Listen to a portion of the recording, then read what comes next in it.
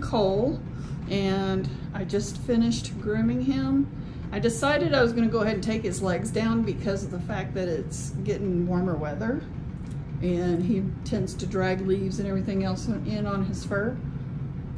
So just wanted to kind of show you how he looks.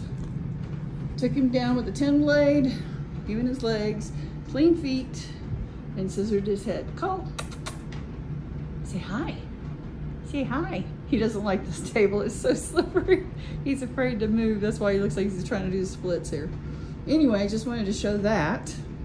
And then also, this is my second surprise. Um, my daughter came in this afternoon after I got home from work and brought me this sewing machine. She bought it for me, I guess, with her tax check. She knew I always wanted one, and now I finally have one. So I'll be able to make some other things with this sewing machine and share that with you all. But this is just a short video, just showing what all I got um, and showing off my dog. and I hope you enjoy this video. I'm gonna try and get this all put together and hopefully get it uploaded this weekend. Anyway, talk to y'all later. Have a great day and blessed day.